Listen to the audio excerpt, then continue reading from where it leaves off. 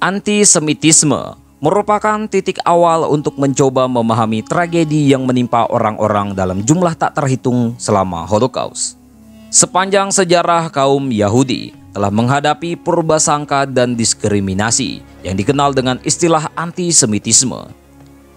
Setelah hampir 2000 tahun yang lalu diusir oleh bangsa Romawi dari tanah yang sekarang bernama Israel, mereka menyebar ke seluruh penjuru dunia dan berusaha mempertahankan kepercayaan dan kebudayaan khas mereka, sembari hidup sebagai kaum minoritas. Di beberapa negara kaum Yahudi disambut baik, dan mereka hidup berdampingan secara damai dengan tetangga mereka untuk kurun waktu yang lama. Di masyarakat Eropa yang mayoritas penduduknya Kristen, kaum Yahudi merasa menjadi semakin terisolasi sebagai orang luar. Kaum Yahudi tidak meyakini kepercayaan Kristen bahwa Yesus adalah anak Tuhan. Dan banyak kaum Kristen yang menganggap penolakan untuk menerima sifat ketuhanan Yesus ini sebagai sikap arogan. Selama berabad-abad gereja mengajarkan bahwa kaum Yahudi bertanggung jawab atas kematian Yesus tanpa mengindahkan fakta. Sebagaimana yang diyakini para sejarawan hari ini bahwa Yesus dieksekusi oleh pemerintah Romawi karena para petinggi menganggapnya sebagai ancaman politis terhadap kekuasaan mereka. Selain konflik bermuatan agama, terdapat juga konflik ekonomi. Para penguasa memperlakukan pembatasan-pembatasan atas kaum Yahudi, yaitu dengan melarang mereka menduduki posisi-posisi tertentu dan menjadi pemilik tanah.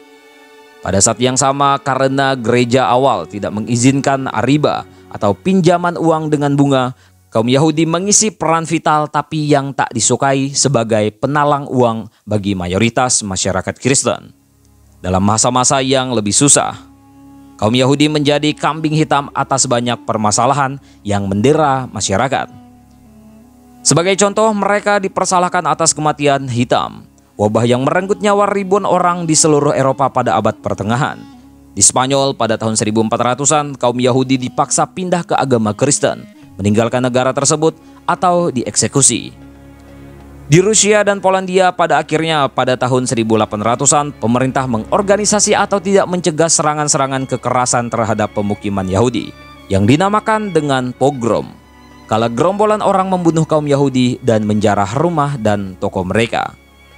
Seiring dengan menyebarnya gagasan kesetaraan dan kebebasan politis di Eropa Barat selama tahun 1800-an, kaum Yahudi hampir menjadi warga yang sederajat di hadapan hukum.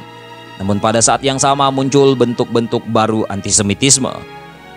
Para pemimpin Eropa yang bermaksud mendirikan koloni di Afrika dan Asia beralasan bahwa kaum kulit putih lebih unggul daripada ras lainnya dan oleh karena itu mesti menyebar dan berkuasa atas ras-ras yang lebih lemah dan kurang beradab. Sejumlah penulis juga menerapkan alasan tersebut terhadap kaum Yahudi dan secara keliru mendefinisikan kaum Yahudi sebagai sebuah ras orang-orang yang dinamakan Semit yang mempunyai kesamaan ciri, keturunan, darah, dan fisik.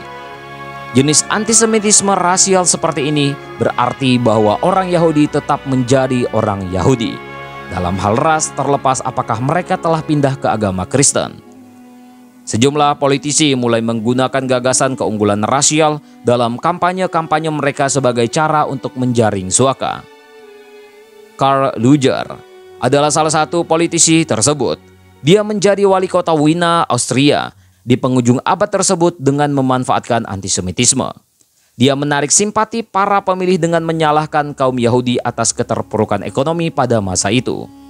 Lujar adalah pahlawan bagi seorang pemuda bernama Adolf Hitler yang lahir di Austria pada tahun 1889.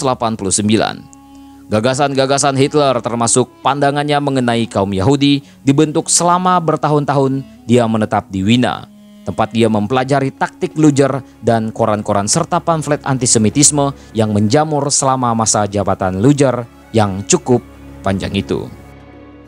Tentang ini bagaimana menurut kalian, coy?